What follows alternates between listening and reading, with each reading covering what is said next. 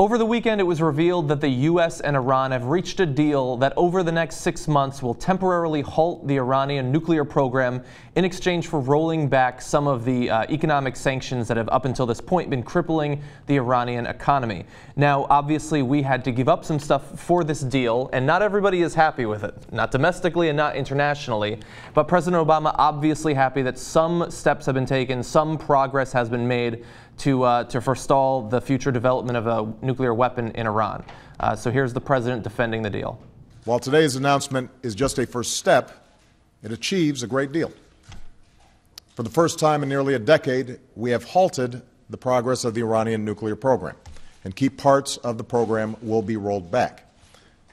Iran has committed to halting certain levels of enrichment and neutralizing part of its stockpiles.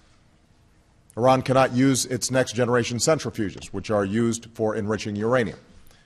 Iran cannot install or start up new centrifuges, and its production of centrifuges will be limited. Iran will halt work at its plutonium reactor, and new inspections will provide extensive access to Iran's nuclear facilities and allow the international community to verify whether Iran is keeping its commitments. These are substantial limitations which will help prevent Iran from building a nuclear weapon. Simply put, they cut off Iran's most likely paths to a bomb. Meanwhile, this first step will create time and space over the next six months for more negotiations to fully address our comprehensive concerns about the Iranian program. And because of this agreement, Iran cannot use negotiations as cover to advance its program. So that's what we got, but of course this is diplomacy. We did have to give up something, and while we've done a, a significant amount of damage in the short run to their centrifuge industry, we will be rolling back some of the, uh, some of the uh, sanctions that we had. Let's get the details on that. On our side, the United States and our friends and allies have agreed to provide Iran with modest relief while continuing to apply our toughest sanctions. We will refrain from imposing new sanctions, and we will allow the Iranian government access to a portion of the revenue that they have been denied through sanctions. But the broader architecture of sanctions will remain in place, and we will continue to enforce them vigorously. And if Iran does not fully meet its commitments during this six month phase, we will turn off the relief and ratchet up the pressure. In these negotiations, nothing will be agreed to unless everything is agreed to. The burden is on Iran to prove to the world that its nuclear program will be exclusively for peaceful purposes. So we have a deal. It's been called historic, but is it a good deal? What do you guys think? I think it's a fantastic deal. I feel oh, safer already. Don't you feel safer already? Yeah, I was actually able to sleep for the first time in many months. You know, there's. Two, I just like to make two points. First of all, everybody who's screaming about we're going to get into the people who are against it, but uh, what? Let's just go right at it. What if Iran gets a nuclear weapon? Then what? Do you think they're going to start invading other countries and stuff and start taking over? Do you think they will invade uh, Israel? But Israel, everyone knows, has their own nuclear weapons. So that's assured uh, destruction. So that's a deterrent.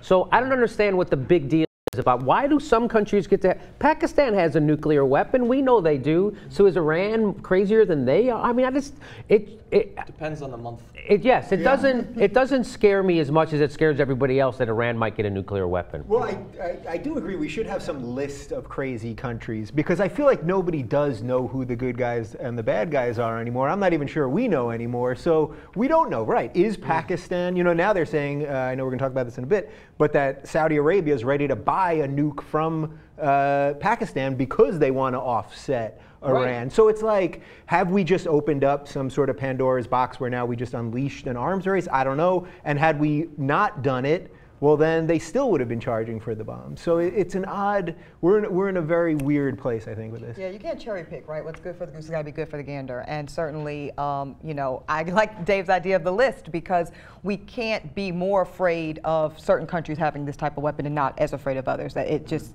doesn't sit well. Well, well also we have You know what I mean? Well, of course, but that's okay. right, a few And we just hundred, got I done, think. And we just got done unilaterally, illegally invading a country in the Middle East and killing their people and trying to extract their natural resources, which had failed. Wait, which? Are you talking about Iraq or Afghanistan? I'm talking both, Oh, right? right, right. So we, so uh, who the fuck are we to be telling other people what weapon you can have to defend yourself from us? Yeah, that's what I think that, that's yeah. a good point. I'm going to play devil's advocate just a little bit because obviously the, the politics of nuclear arms is, is, is complicated. I'm trying to figure out how scared I should be. Should I be less scared than yesterday? So, uh, so you, you brought up a good point about you know having a bomb. It's not just that you could potentially use it in a future conflict. You could sell the technology to another state. You could give a bomb to a terrorist group or another state. It could be stolen from you. The government that seems perfectly reasonable today could be replaced by a bunch of crazies tomorrow. Yes. These are significant concerns.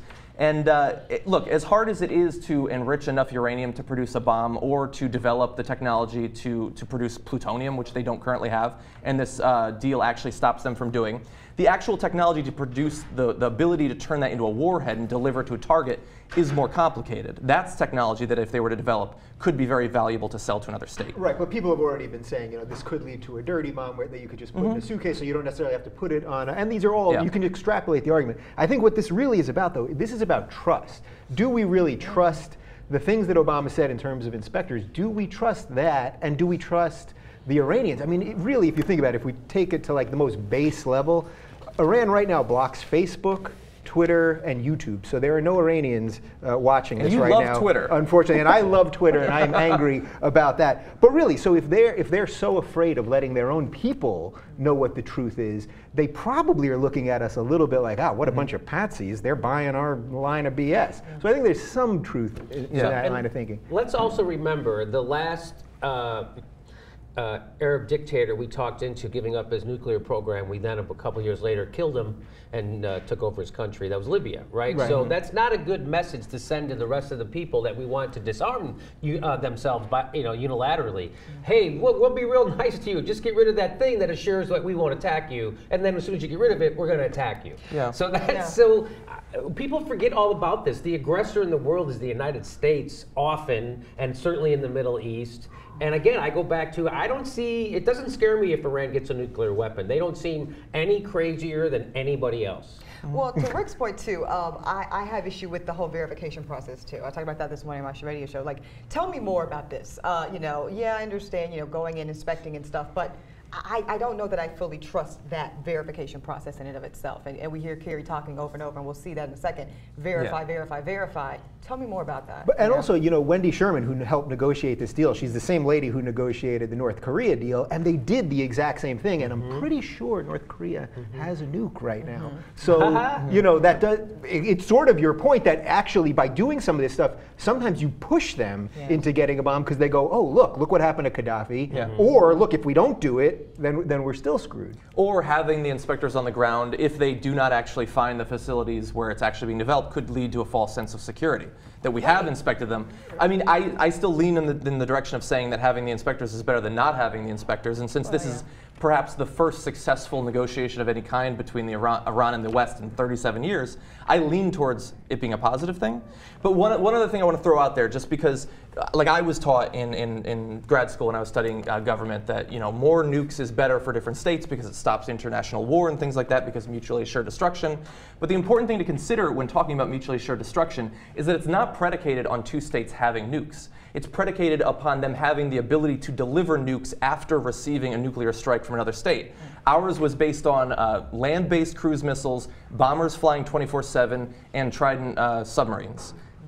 Pakistan doesn't have that. They have a facility with a plane with a bomb on it. Now, if India bombs that facility and takes out their ability to use bombs or to use the nukes, you don't have a mutually assured destruction.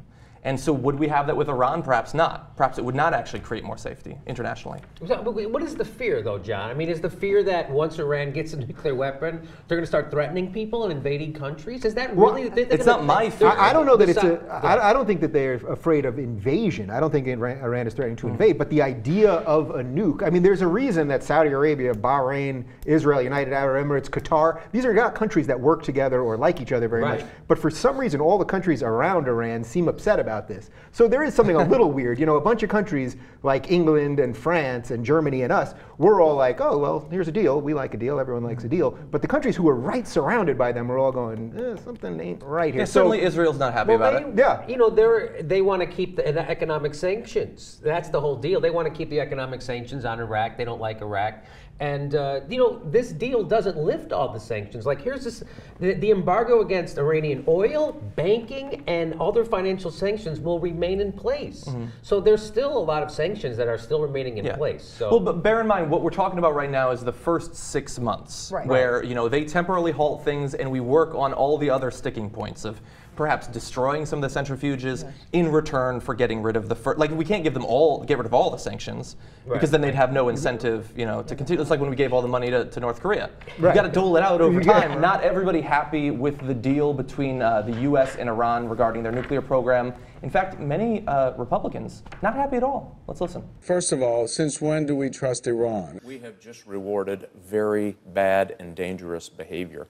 Now is just not the time to ease sanctions when they are working. So you're we've got all the leverage in the negotiation, and we've let them out of the trap. that if you stop enrichment, not just pause it. And we may, we may have just encouraged more violence in the future than we have stopped. We should, in fact, insist that a country which has deceived the world, a country which has defied UN Security Council resolutions, uh, can't be trusted. When you look at what we've really gotten out of this, it's moving us away from the direction of prevention of them developing a weapon. Why now?